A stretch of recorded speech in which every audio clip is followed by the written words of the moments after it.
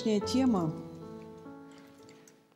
которую мы с вами будем изучать, о которой мы будем размышлять, касается цены нашей жизни. В последнее время эта тема, по-моему, очень актуальна. Многие сегодня говорят, о, как жизнь подорожала. Слышали такое выражение? Может быть, здесь у нас оно не так ощутимо, как э, это Оксана да, сказала в прошлую, в прошлую пятницу, здесь можно жить и без денег. Вот. А вот люди вокруг нас ощущают очень остро и подорожание, и ну, вообще цену жизни. Вы знаете, вопрос цены, он очень важен, если учитывать что касается этот вопрос нашей с вами вечной жизни. И мы будем именно об этом размышлять. Сколько же стоит наша вечная жизнь? Но когда говорить вообще вот таким нашим, ну, можно сказать, обывательским языком, сколько же стоит наша жизнь, то здесь, в этом мире, очень много условностей. Э, я как-то размышляла, сколько же действительно, ну, вот все стоит здесь на земле. И, естественно, хочется начать с самого начала. Ведь все сотворил Бог, правда? Он сотворил нашу землю удивительнейшим образом, богатейшую, красивейшую. Мы сегодня даже не можем себе представить, какой была совершенная жизнь на земле до грехопадения. Правда? Практически для нас это невозможно сегодня. Но когда мы смотрим на красоту природы, мы восхищаемся этим, правда? Вот. Но Бог вложил сюда, я не знаю, миллиарды, миллиарды, триллиарды, я не знаю, как это можно назвать, всяких атомов, молекул. Все это удивительным образом гармонично сочетается. Одно является растением, другое – животными. И, естественно, среди всего этого есть человек. И в самом начале, когда Бог вот в течение шести дней, сотворивший все это, любовался и говорил весьма хорошо, мы можем согласиться, что это действительно было весьма и весьма прекрасным творением. Человек — венец творения — природа удивительнейшим образом, сочетавшая в себе краски, запахи, э, ну, красоту, гармонию и все остальное. И все это было сотворено для того, чтобы этот человек, венец творения, чувствовал себя комфортно, чувствовал себя всегда радостно, имел благословение и наслаждался этим всем всю вечность. Но мы знаем, что грех вошел в нашу жизнь, в жизнь человечества. Вошел вот в эту планету Земля, вторгся. И только по одной единственной причине. Человек решил не слушаться Бога. В какой-то момент перестал доверять своему Творцу. И это обернулось страшной трагедией. То, что мы сегодня теряем родных и близких, то, что мы сегодня болеем, то, что сегодня идут войны на этой земле, то, что страшные эпидемии косят миллионы жизней людей, то, что есть такие заболевания, которые даже, ну, вначале человек даже не мог предположить, что такое может быть когда-то. Но это сегодня наша действительность. И мы с ней сегодня смиряемся. Мы живем в этой действительности. Она наполняет нашу жизнь. И мы знаем, что мы рано или поздно уйдем из этой жизни. Господь сделал все возможное, чтобы человек был счастлив. Он прекрасным сотворил его, он дал ему жизнь, он обеспечил ему безопасность, он предупредил человека о возможной опасности. Но когда все-таки произошла эта трагедия, Бог исполнил то, что Он предупреждал. Если ты вкусишь от дерева познания добра и зла, смертью умрешь. И мы знаем изгнание из ада, из рая. Мы знаем Херувимы и огненный меч. Мы знаем трагедию Адама и Евы. Мы знаем то, что происходит сегодня уже с нами. Это проблема, которая является следствием вот того единственного непослушания, которое совершили Адам и Ева в Эдемском саду.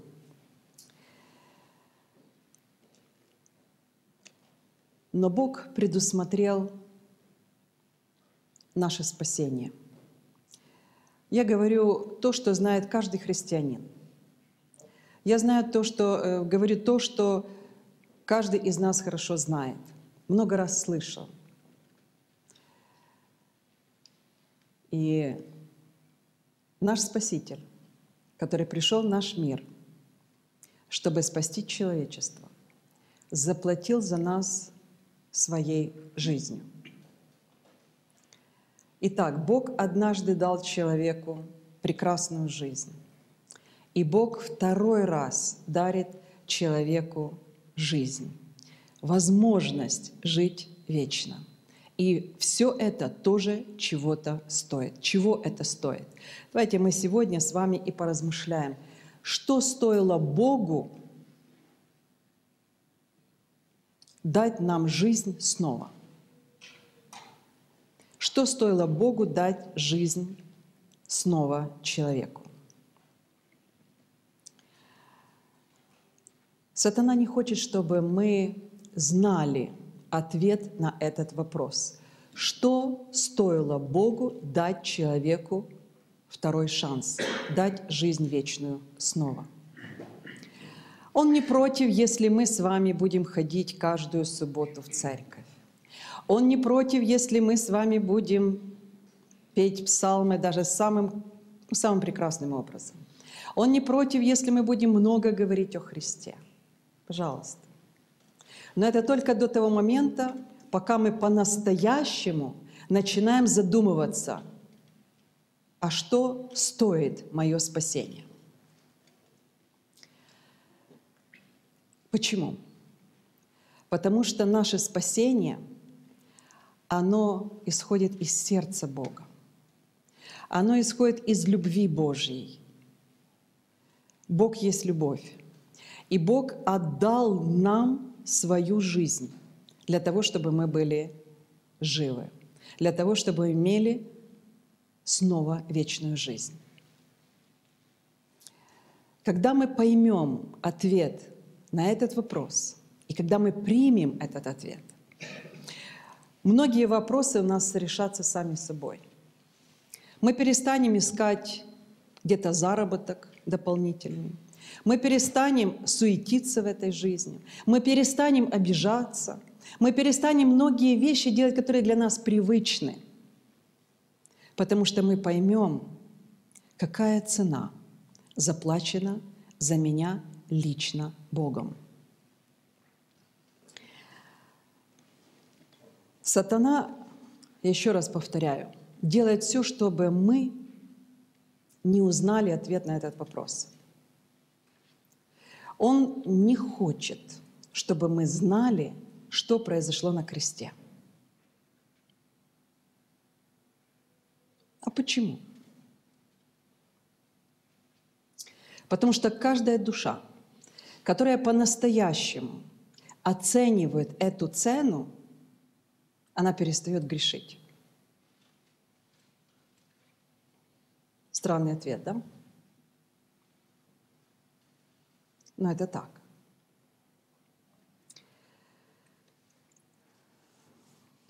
Поэтому дьявол придумал очень много разных уловок, разных теорий, разных философий, чтобы наполнить ну, здесь, на этой земле, весь этот эфир, все, что может говорить, все, что можно прочитать, то, что можно прочувствовать, вот этим обманом. И люди, соприкасаясь с этим обманом, они верят этому. Они верят ему. мы с вами соприкасаемся с этим миром, который создал сатана. И этот мир забирает нас от Бога. Он забирает наши души от Бога. Он забирает наше внимание от Бога. Он забирает нашу любовь от Бога. Он забирает все у нас. Но кто-то может сказать, может быть, большинство даже может сказать, а что, я же все понимаю, я знаю, как Бог меня спасает. Друзья, знать теорию – это еще не значит оценить сердцем ее.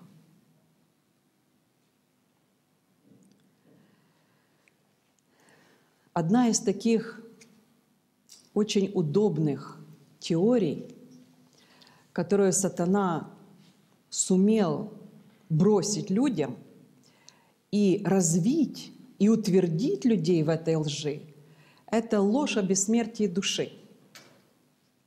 Мы уже затрагивали недавно эту тему, и я хочу снова сегодня говорить об этом, потому что мы, большей частью, мы как-то так ну, контактируя друг с другом, мы больше, знаете, поступаем как гуманисты. Вот лишь бы человек был хороший. Правда? И тогда у нас все нормально. Но над всем этим, хороший человек или плохой, есть нечто большее. Есть отношение к Богу. Нас окружают разные люди. И хорошие, и плохие, и добрые, и злые, умные, не очень, грешные, более, менее грешные, разные люди. И мы реагируем, соответственно, на каждого человека по-разному. Но сегодня даже речь идет не об отношениях наших с вами, а о нашем отношении к Богу, к оценке Божьих действий в нашей жизни. Бог создал человека не просто красивым, не просто прекрасным даже, но Он его создал с потребностью жить вечно. Почему мы боимся умирать? Почему у нас есть этот страх? Почему мы боимся проблем? Почему мы боимся э, болезней, войны и всего остального? Всего того, что угрожает нам. Потому что есть угроза нашей жизни. Понимаете? А что это значит угроза нашей жизни? А это значит, я хочу жить. Я не хочу умирать. Молодые люди, может быть, не так задумываются над этим, как люди старшего поколения. Но сегодня очень много молодых людей умирает и погибает и это печально. Итак, у человека есть вот эта внутренняя потребность жить. Ему не хочется умирать, ему не хочется болеть, ему хочется быть полноценной личностью. И сатана, зная это, подсовывает ему вот эту теорию о бессмертии души – как вы думаете, вот для человека, у которого есть вот этот страх, есть переживание, удобна такая теория? Да я все равно не умру. Ну, я не говорю там уже, э, как это, реинкарнация, переселение душ и так дальше. Там.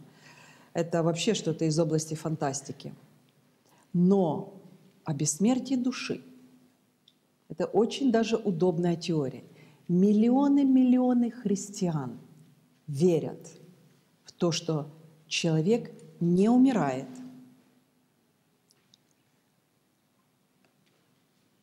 А просто делятся. Одни идут в ад, те, которые заслужили наказание за свою жизнь, а другие идут куда? В рай. И уже все распределено. Во всем мире это учение очень популярно. Во всем мире. И очень многие церкви, даже если у них есть другие доктринальные различия, в этом вопросе большинство из них сходятся.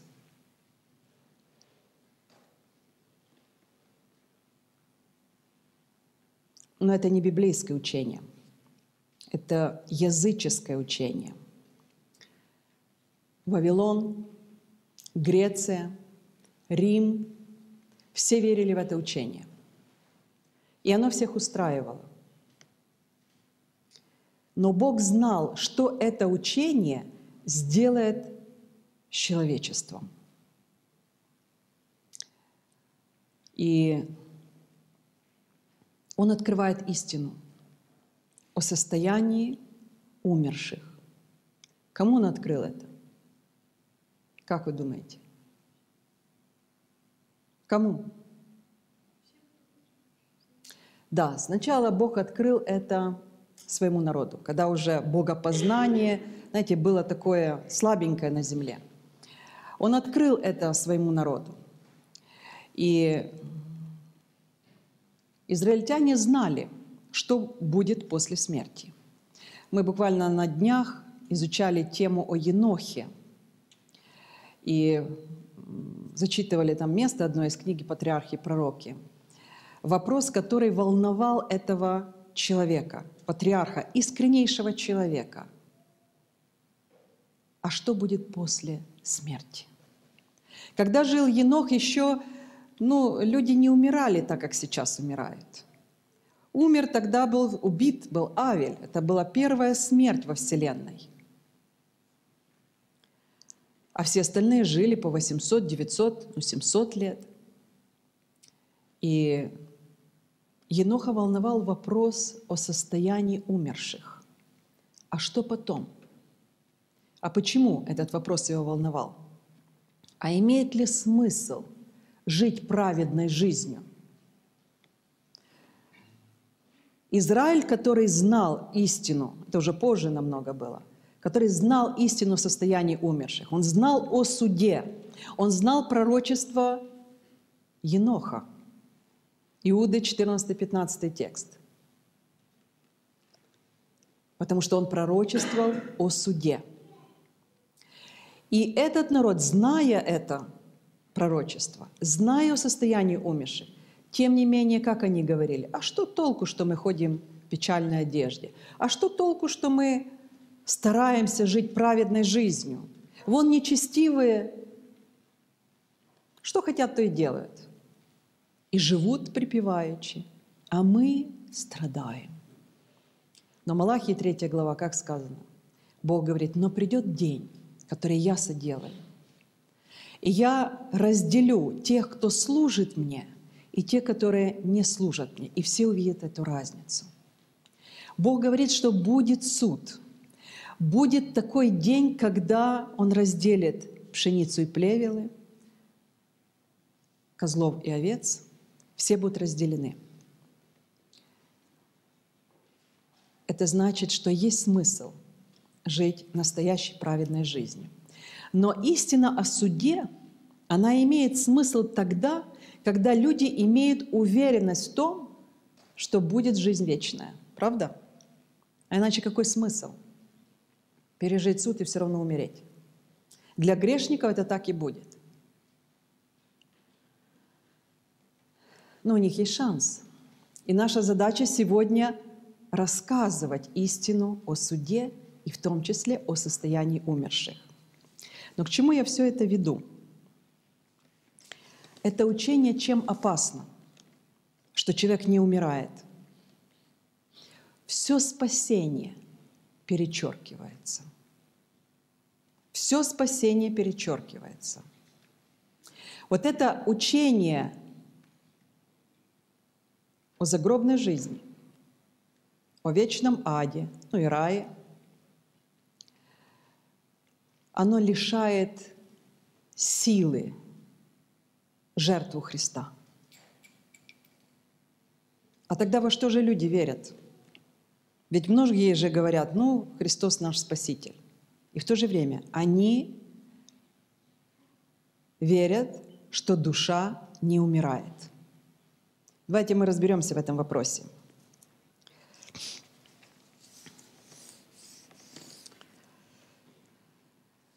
Люди, которые верят в эту ложную доктрину, по сути, не понимают, что произошло на кресте.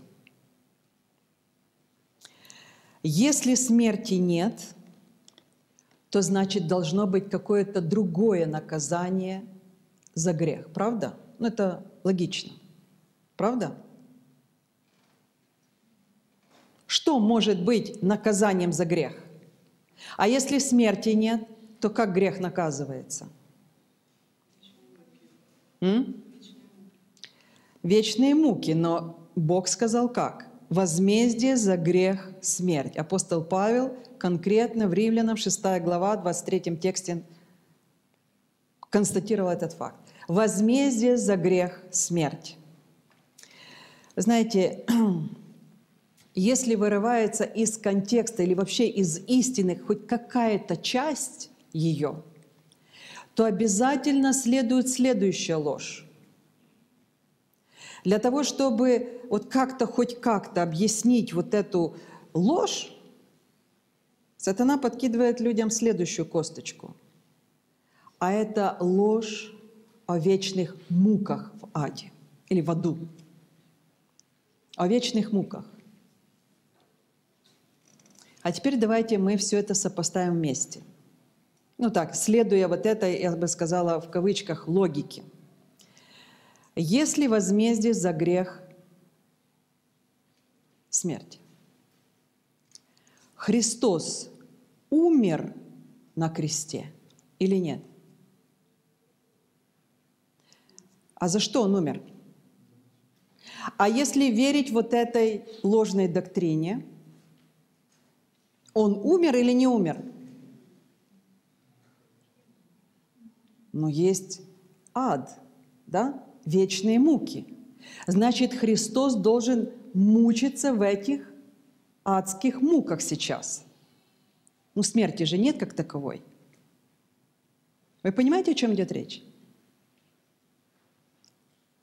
Просто, мне кажется, люди вообще не думают вот дальше того, что вот вот так вот оно и все. А дальше я уже не знаю. Ну, кто-то, может быть, умный, тот понимает, а я не понимаю. Вот я так верю.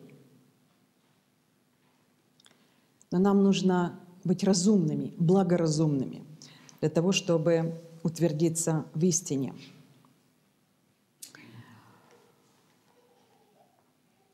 Что же на самом деле произошло на кресте?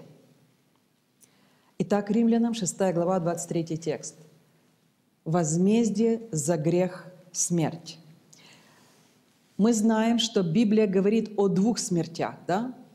Первая смерть – это ну, сон, та смерть, которой умирают все люди на земле. И вторая смерть – это вечная смерть, это небытие, это вечное разделение с жизнью.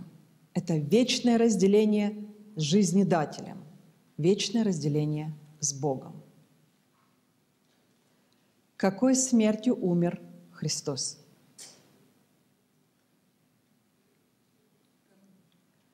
Христос умер второй смертью.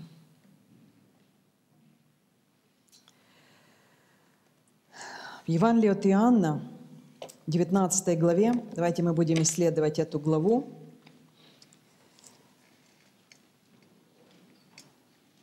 Мы прочитаем вот как бы расшифровку всех этих вопросов, которые мы сегодня поставили перед собой.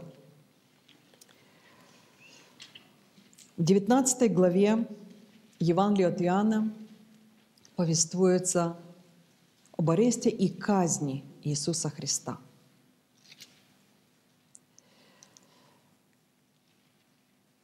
Иисуса привели Пилату. Мы не читаем 18 главу, мы начинаем с 19 главы. В первом тексте мы читаем, «Тогда Пилат взял Иисуса и велел бить его». За что он велел бить Иисуса? Мы знаем, в Иисусе не было никакой вины.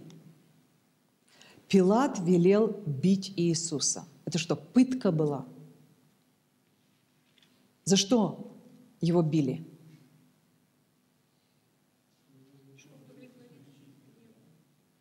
Чтобы удовлетворить толпу. Да? Еще? Виталик, ты говорил. Чтобы наказать и отпустить, хотя бы удовлетворить, хотя бы частично вот эту жаждущую мести, жаждущую крови, наказания, озверевшую толпу. А теперь смотрите, воины, римские воины, которые были во дворе, в окружении этого, не знаю, дворца этого, притории. И воины, сплетшие венец из терна, возложили ему на голову и одели его багряницу, и говорили, «Радуйся, царь иудейский!» и били его полонитом. Что делают воины? Почему они так издеваются над ним? Что он им лично сделал? Ничего. Но почему они так ведут себя? Куражатся. Да, совершенно верно. Дьявол ожидал вот это предвкушение победы. Вы знаете, война – это страшно, конечно. Люди, которые, знаете, вот у них, я не знаю, может быть, в генах, в гормонах что-то такое, знаете, дрочливое есть. Вот они э, любят вот такое вот что-то издевательство, где-то силу свою показать. Вот это грех. Вот это то, что делает из человека ничтожество. Вот даже если посмотреть, ну такую, знаете, картинку давайте себе представим. Иисус, который был абсолютно спокоен, невинный, благородной внешности, никому из них ничего плохого не сделавший, стоит молча. Одевают ему вот этот колючий венец, начинают бить его, плевать ему в лицо. Толпа беснуется – Пилат разрешил так. Бросил кость. Берите его. Четвертый текст. Пилат опять вышел и сказал им, «Вот я вывожу его к вам, чтобы вы знали, что я не нахожу в нем никакой вины. Вы хотели, чтобы я над ним поиздевался? Мы поиздевались, чисто по-человечески. Кому-то это доставило удовольствие. Но в нем нет никакой вины. Берите его.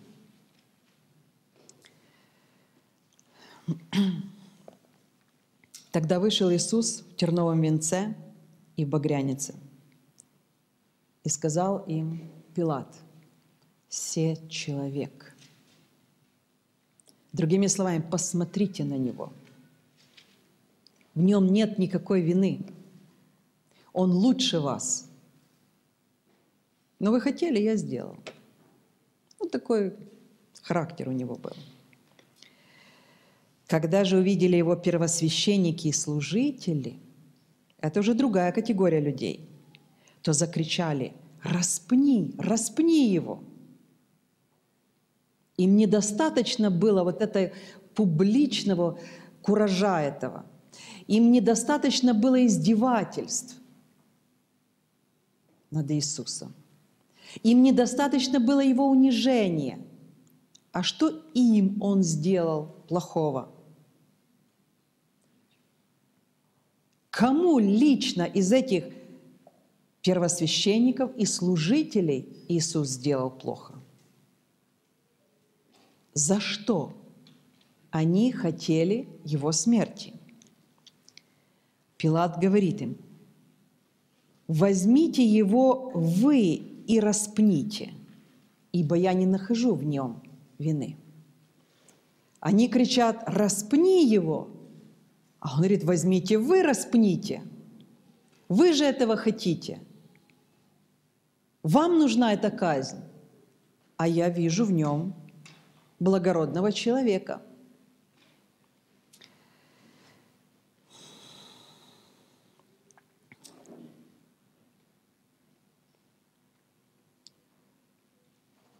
Что-то ужасное происходило в те моменты. Если мы с вами прочитаем несколько текстов,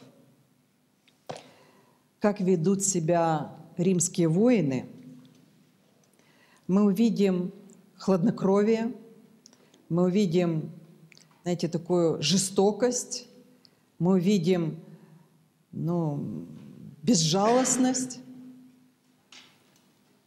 И я бы сказала еще одно. Непонимание, что они делают. Непонимание, что они делали. Давайте прочитаем несколько текстов. 23 текст. Воины же, когда распяли Иисуса, взяли одежды его и разделили на четыре части, каждому воину по части, и хитон. Хитон же был не шитый, а весь тканый сверху. И так сказали друг другу, не станем раздирать его, а бросим о нем жребий, чей будет. Они распяли его, гвоздями прибили ко кресту, повесили его. И рядом сидят, делят его одежду. Понимаете? Для них это, ну, все так, обыденно. Давайте прочитаем еще один текст. 28 текст. После того Иисус, зная, что уже не все совершилось, засбудется Писание, говорит, жажду. Тут стоял сосуд, полный уксуса. Воины, напоив уксусом губку и наложив на Исоп, поднесли к устам его. Привычно, обезболивающее дают. Уксус. Вот на, попей его, и легче тебе станет. Где-то у кого-то было сочувствие, так? Когда же Иисус вкусил уксуса, сказал «совершилось» и, преклонив главу, предал дух.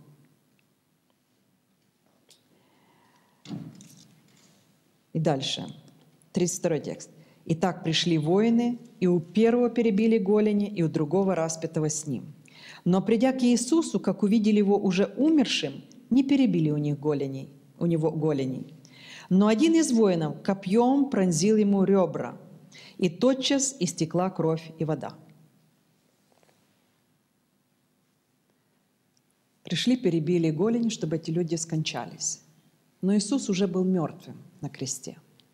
Тогда один берет копье и пронзает ему сердце, ну, ребра. Из перикарда перетекла кровь и вода. Это было свидетельство того, что смерть уже наступила. Как ведут себя римские воины? Как любой человек, живущий здесь на земле, язычник, не понимающий, кто висит на кресте.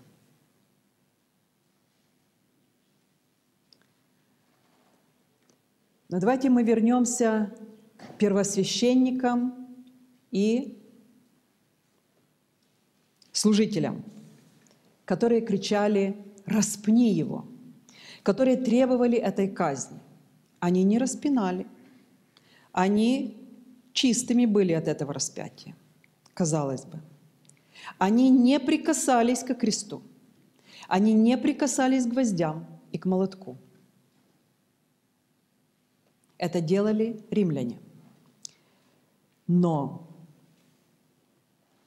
мы знаем, что именно они были виновны в смерти Иисуса. Именно их использовал сатана, чтобы совершить эту ужасную казнь.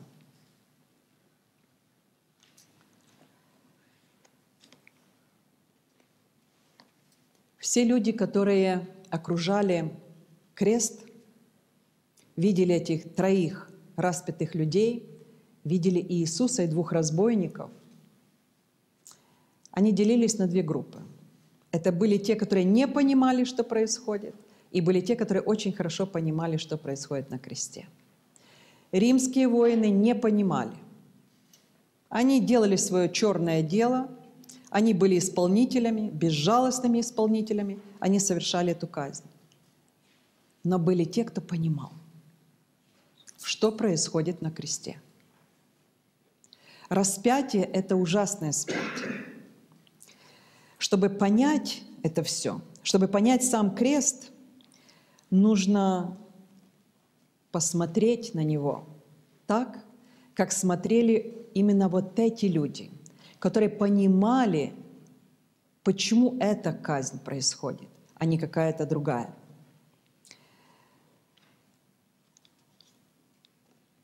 Когда Пилат отказался распинать Иисуса первый раз, они кричали «распни, распни его». Он говорит «возьмите и вы распните его». И седьмой текст. Иудеи отвечали Пилату, «Мы имеем закон, и по закону нашему он должен умереть, потому что сделал себя Сыном Божьим».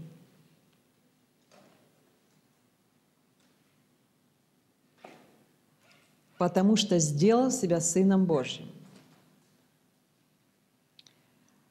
Скажите, а вы считаете себя сыновьями и дочерями Божьими? В чем тут преступление? В чем тут преступление? Восьмой текст. Пилат, услышав это слово, больше убоялся. Потом он спрашивает Иисуса, откуда ты? Кто ты? Но Иисус ему не отвечал. Он бы все равно не понял.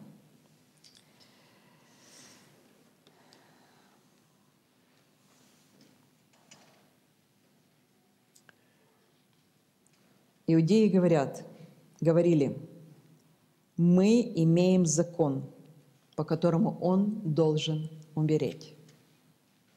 Что же это за закон? Это закон о проклятии. Закон о проклятии. В книге Левит, 24, 24 главе, 16 тексте, мы можем прочитать следующее. 24 глава, 16 текст –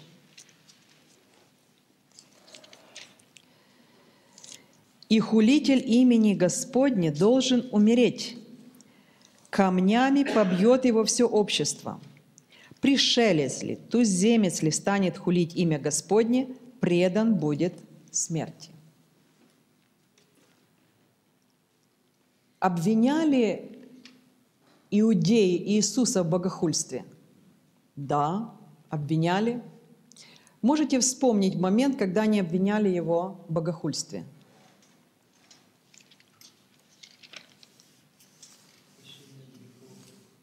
А?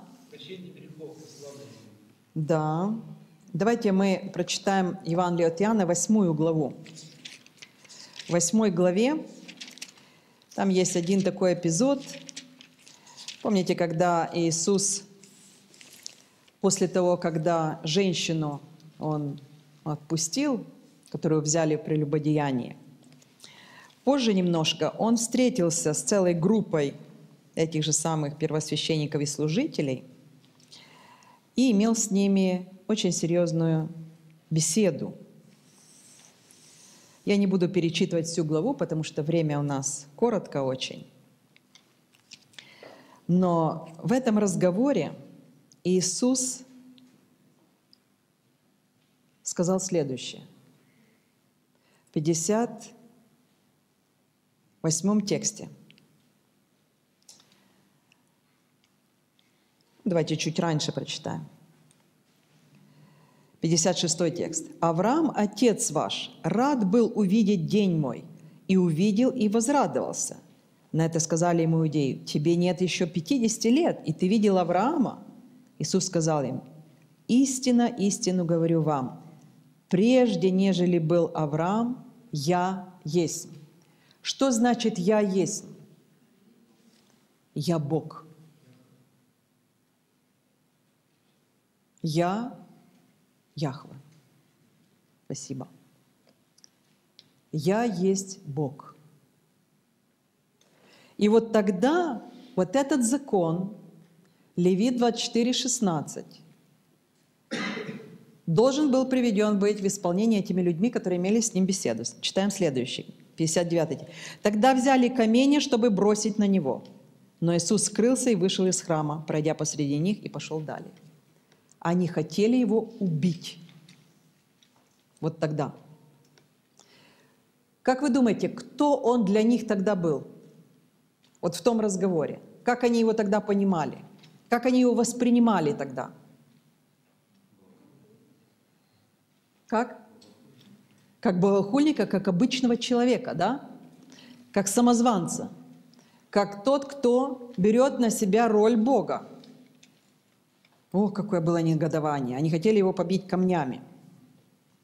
А давайте мы в 10 главе прочитаем. 10 глава, 30 тексте.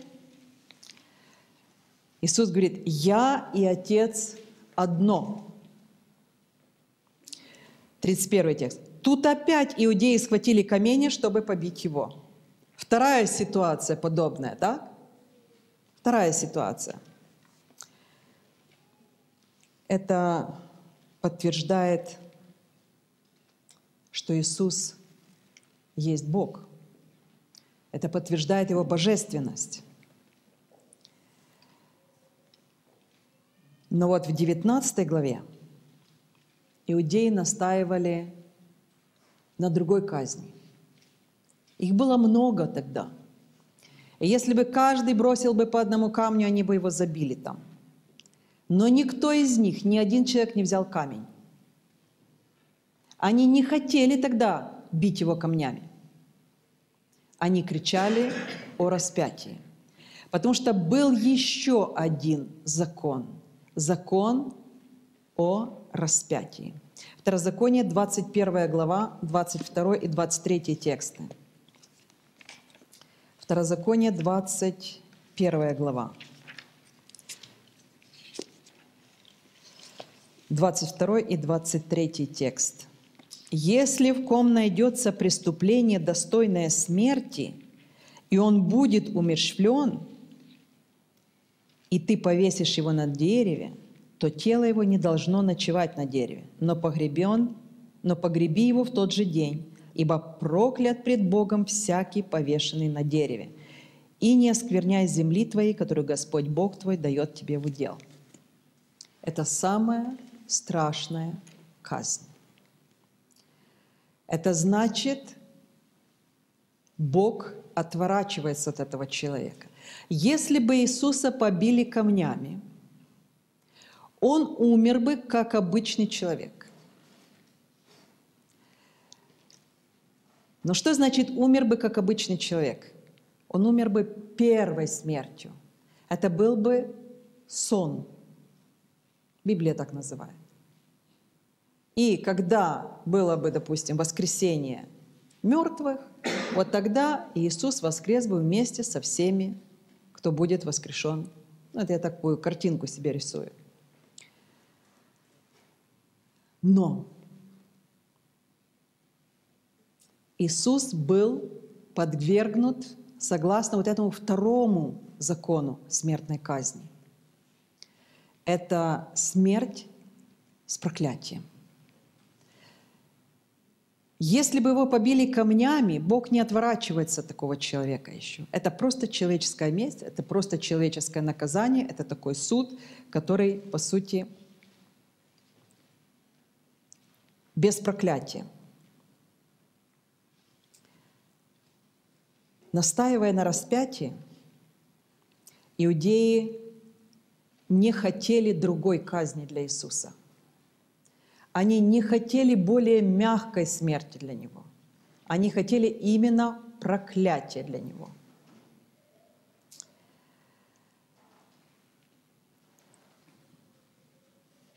И Он был распят. И он был казнен именно распятием. Что значит распятие?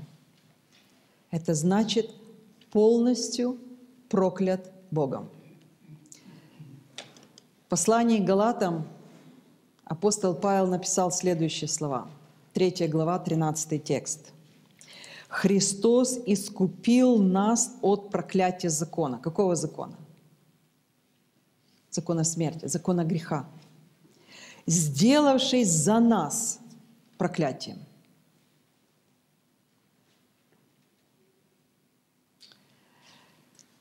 Там на кресте Христос взял на себя грехи всего человечества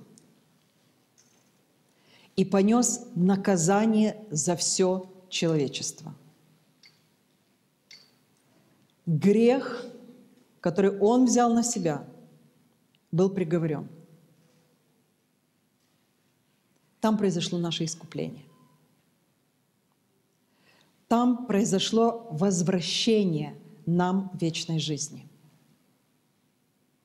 Любой грех, кроме сознательного отвержения Бога, он там пригвожден ко кресту.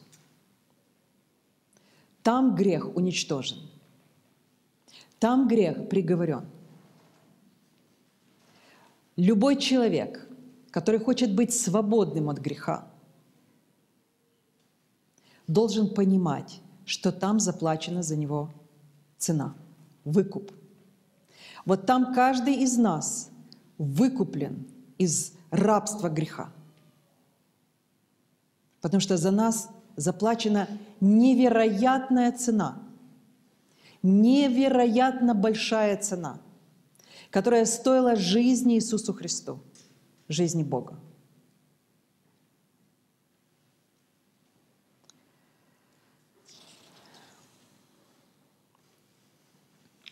Как вы думаете,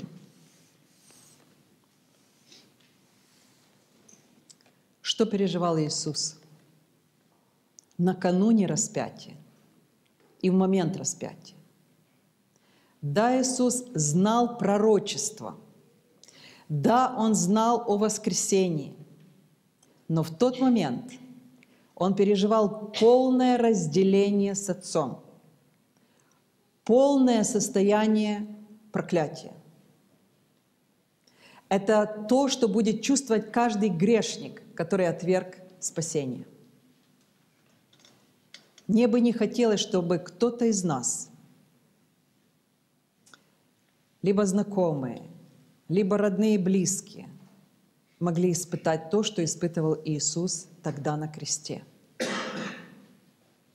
Это вторая смерть. Это полное отвержение, это полная безнадежность, это полное отвержение Богом, это проклятие. Иисус это пережил. Я не пытаюсь вызвать у вас эмоции, друзья – в отношении ну, оценки. Я, ну, насколько я могу, мой язык, мое желание, насколько мое понимание, вот вызвать вот это состояние анализа, состояние оценки. Я Иисус. Что Он сделал для меня? Что Ему стоило меня спасти лично? Именно этого дьявол не хочет, чтобы никто из нас не знал. Он не хочет, чтобы мы даже задумывались над этим.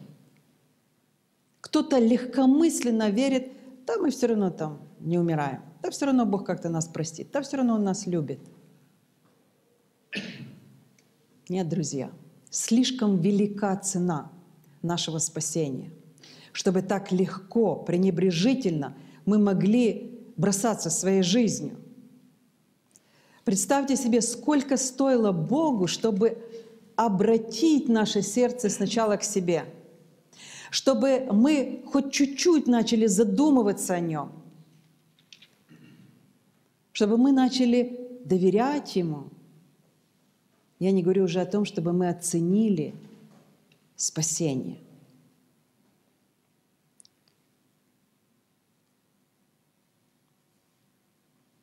Слишком велика цена нашего спасения. Слишком велика цена. И Бог никогда не будет поругаем. Он никогда не даст вот этой святыни легкомысленным людям, чтобы мы могли пренебречь этим бесценным даром.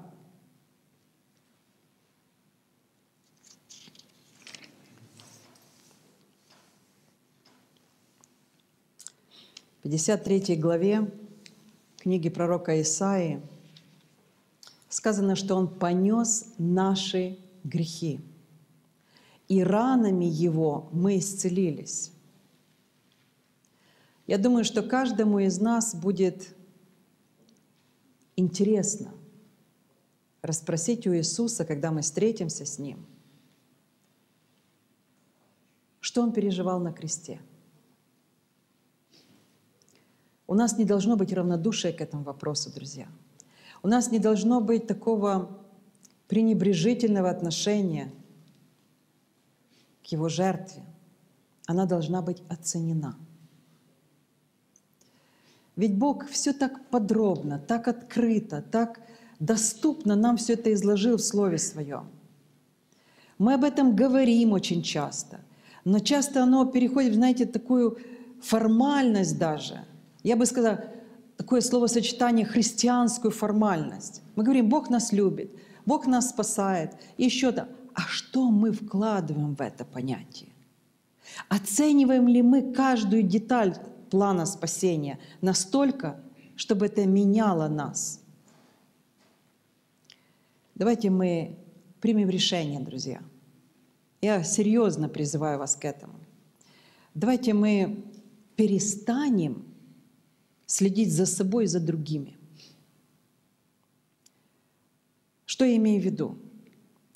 Часто мы вот так настолько копаемся в себе, хорош я или не хорош. Достаточно ли у меня там уже заслуг или недостаточно? Что у меня там хорошего, что плохого? Что мне угрожает, что не угрожает. Это взгляд внутрь себя. Это страдание, потому что мы грешные. И чем больше мы будем углубляться в себя, тем больше мы будем разочаровываться. Да, нам нужно понимать свои слабые и сильные стороны, но нужно научиться делать это объективно, так как Бог это делает. Давайте мы будем, перестанем наблюдать за кем-то другим, следить, а лучше он меня или хуже, и радоваться где-то там внутри, внутри, там, потому что эгоизм наш диктует это. А я все-таки лучше его, я так бы не сказал бы, я так бы не сделал. Понимаете, это все мелочность. Давайте мы сконцентрируем свой взгляд на кресте. Давайте мы будем размышлять об Иисусе – о Его жертве. Потому что все наши проблемы решены им. Нами они не могут быть решены. Потому что, ну как грешник может спасти грешника? Сам себя грешный, себя же грешным. Это невозможно. Тем более кого-то другого. А что толку тогда осуждать? Либо себя, либо кого-то. Нужно что-то делать. Нужно предпринимать что-то. Единственный выход – это Иисус. На нем нужно сосредоточиться. Тема, которую я предложила для вашего внимания, она уже несколько раз я поднимала эту тему. Что произошло на кресте? Кто-то, может быть, уже помнит некоторые мысли из этой проповеди.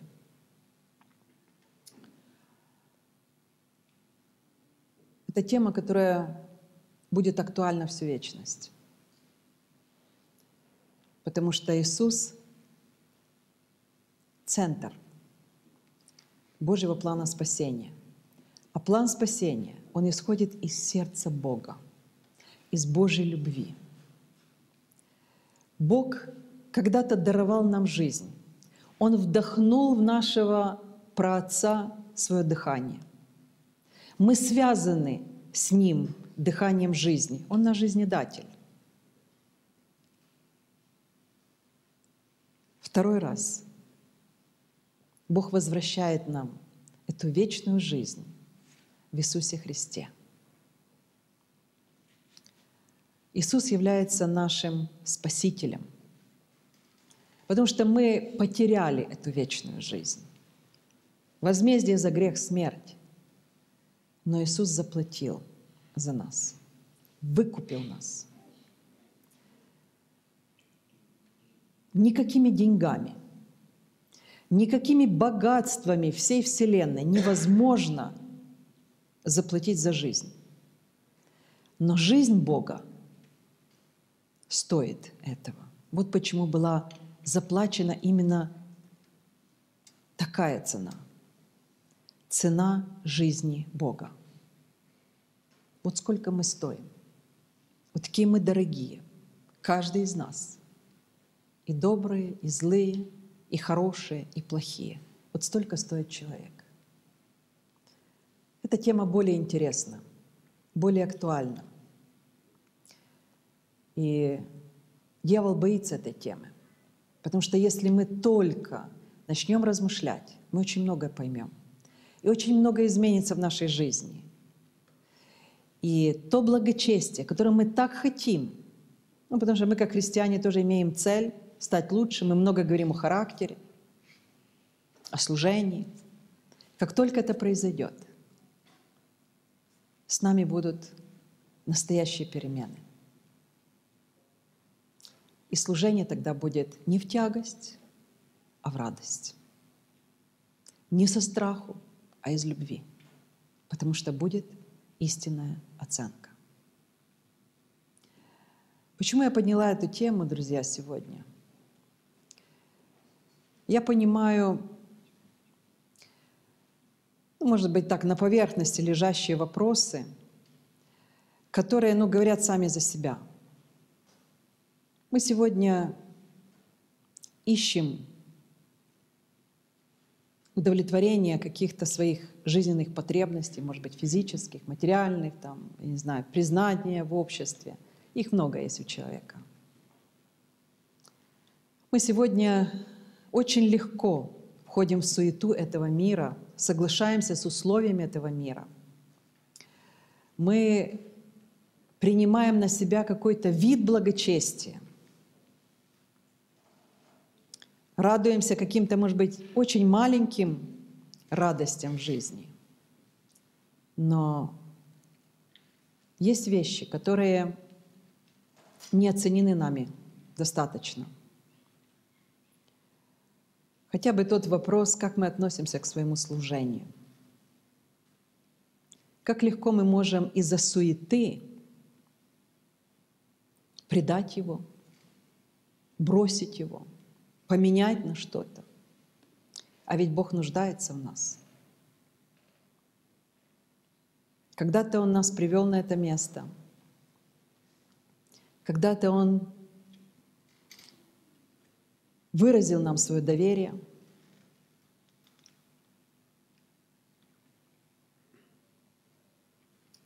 Но как легко мы можем предать это?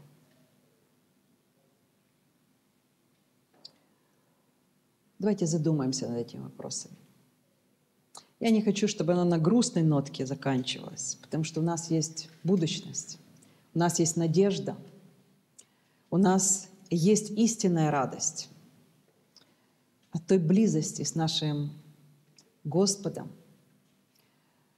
который никогда не предает, никогда не разменивается на что-то другое который дарует нам самое ценное — свою жизнь ради нас, чтобы мы жили вечно. А нам нужно пройти этот путь. Нам нужно терпеливо совершить этот труд. Труд нашей жизни, труд веры, труд любви и сохранить терпение и упование. И тогда мы будем спасенными.